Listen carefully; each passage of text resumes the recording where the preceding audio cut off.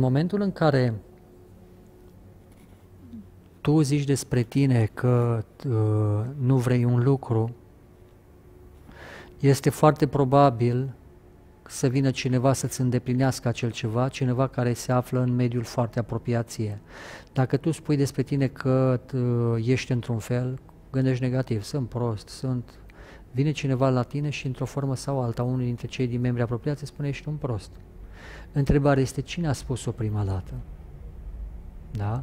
Cine a spus-o prima dată în interior motiv și care emisie care a fost auzită de ceilalți și transformată într-o manifestare prin vorbă care te face pe tine să fii conștient de faptul că tu ai emis, el a recepționat și ți-a transmis ceea ce tu ai emis și mai mult, pe măsură ce o emit continuu, faptul că sunt prost, că nu pot, nu știu, el aude continuu că eu, că eu nu știu, că nu pot, că la la la, și el devine conștient de realitatea mea și începe să gândească ceea ce eu gândesc despre mine.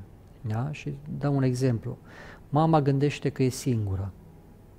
Da? Și mama te transmite în câmpul ei, sunt singură, sunt singură, trăiește efectiv realitatea singurătății în spațiul interior.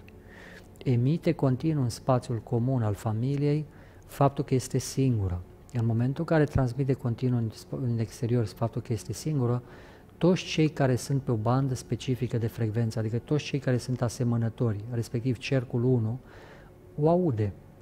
Unii dintre cei care o aud o și, uh, și realizează ceea ce aud ca informație și pot să o asocieze ceea ce aud ca informație cu, cu prezența ei. În momentul acela, ei trăiesc în interiorul lor sentimentul și cunoașterea că mama este singură și din dorința de a o salva, ce fac?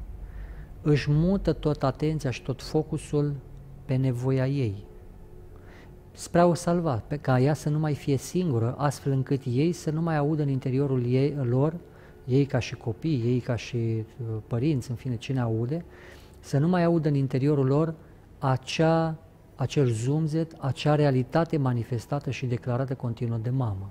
Și atunci copilul, în general, copilul ce face? Se întoarce cu fața către mama și își pune la dispoziție, sau către tata, sau către cine o fi, și își pune la dispoziție uh, timpul, energia, prezența și își manifestă foarte multe, vine și cumva înloc, o înlocuiește pe mamă în viața ei. Începe să facă lucruri pentru ea, începe să ia decizii pentru ea, cu alte cuvinte, începe să o înlocuiască unde ea lipsește. În momentul în care începe să înlocuiește, să o înlocuiască unde ea lipsește, este ca și cum devine o cârjă în câmpul ei. În momentul în care devine o, o cârjă în câmpul mamei sau în, câmp, în câmpul tatălui, persoana respectivă începe să se obișnuiască cu a fi înlocuit pe anumite zonă pe care oricum nu-și dorea să-și petreacă timpul și să-și ducă energia și să devină responsabil în manifestarea lui pe acel spectru. În momentul în care devine o cârjă, cel care primește ajutor și se obișnuiește cu această formă de ajutor, constant proiectează că nu poate, că nu poate, că nu poate, pentru că manifestând ceea ce manifestă, primește sprijinul și mai mult este înlocuit și cumva este uh, susținut să nu mai facă, să nu mai întreprindă anumite activități, să nu mai fie responsabil de anumite zone și în momentul acela este ca și cum lucrurile, este, lucrurile sunt rezolvate. Repet continuu anumit lucru și primesc acel, uh, acel rezultat.